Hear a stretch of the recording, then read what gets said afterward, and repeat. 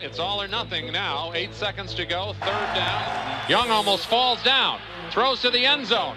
Owens! Owens! Owens! Owens! Owens! Caught it! He caught it! He caught it! He caught it! 25 yards! Touchdown pass! Terrell Owens! He hasn't held on to anything, including his fingers, all day, and he makes the winning touchdown catch somehow, some way. Owens right down the middle. The coverage was there. The ball had to be perfect. It was. He caught it. Niners will win it. Niners will win it. And who would ever believe such a thing could occur? San Francisco 30, Green Bay 27.